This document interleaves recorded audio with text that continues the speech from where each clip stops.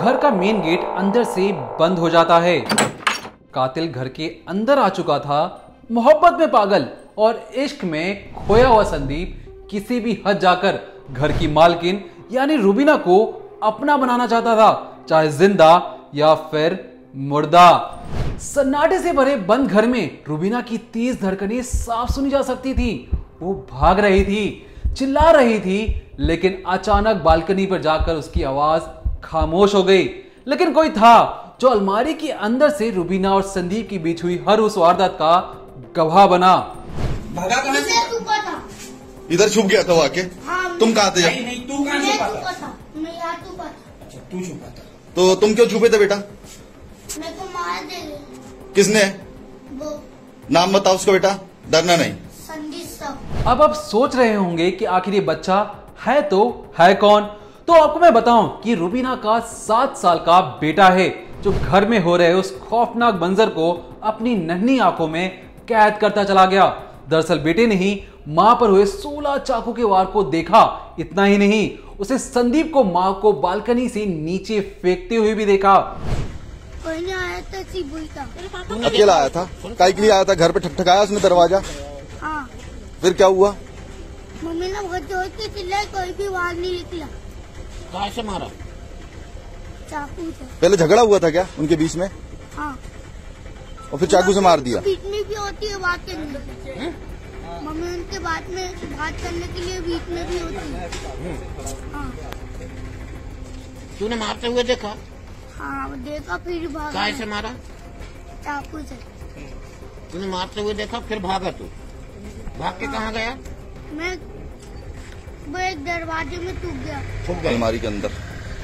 बच्चा नादान है इसलिए वो शायद आपको संदीप की सच्चाई समझा ना सका होगा। इसलिए हम आपको इस कहानी के हर एक किरदार से मिलवाते हैं। मध्य प्रदेश के बैतूल में 26 साल की रूबीना अपने पति आसिफ और 7 साल की बेटी के साथ बड़े ही सुकून से रह रही थी। लेकिन एक रोज रूबीना की ज़िंदगी में अचानक पहले प्यार यानी कि संदीप ने दस्तक दी। शादी से पहले रूबीना का करीब दो साल तक संदीप के साथ अफेयर या फिर कहें, रिलेशन था। ये दोनों एक दूसरे को बे इंतहा मोहब्बत करते थे।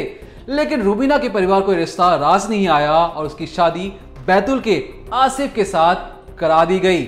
शादी के बाद अपनी पिछली ज़िंदगी को छोड़ रूबीना अपने पति आसिफ के साथ नए घर में खुश रहने की कोशिश करने लगी और धीरे धीरे ऐसा हुआ भी। आसिफ और रूबीना दोनों एक साथ ज़िंदगी में आगे बढ़े और उनका फिर एक बेटा भी हुआ। लेकिन अपनी फैमिली के साथ हंसती खेलती रूबीना संदीप के लिए जहर का कड़वा घूट बनी गई थी। रूबीना का आसिफ के साथ बिताया हर एक पल। रूबीना के पहले आशिक, यानी संदीप को खंजर की तरह चुभ रहा था और इसी का बदला लेने के लिए संदीप ने दोबारा रवीना की लाइफ में जाने का फैसला किया।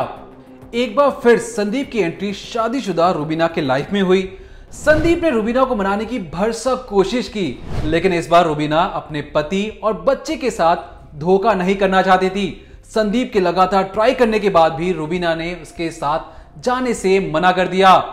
रूबीना के मना करने के बाद संदीप उस वक्त मुँह लटकाकर वहाँ से चला गया, लेकिन रूबीना और उसके परिवार से बदला लेने के लिए वो वापस लौटा। सोमवार, यानी 11 अप्रैल 2022 की सुबह, जब रूबीना का पति काम पर गया तो संदीप ने मेन गेट का दरवाज़ा खटखटाया। रूबीना ने संदीप को देखकर गेट तो खोला, लेकिन संदीप एक बार फिर रूबीना से जिद करने लगा कि वो उसके साथ चले। इस बात को लेकर दोनों के बीच कुछ देर के लिए कहा सुनी भी हुई, लेकिन फिर अचानक संदीप की आँखों में खून सवार हो गया। उसने चाकू से रूबीना पर 16 वार किए। रूबीना जान बचाकर इधर उधर भाग रही थी। संदीप उसे दौड़ा दौड़ा कर चाकू से कई वार कर रहा था और मौका मिलते ही उसने उसका गला रेत दिया और फिर उसे बालकनी से नीचे फेंक दिया।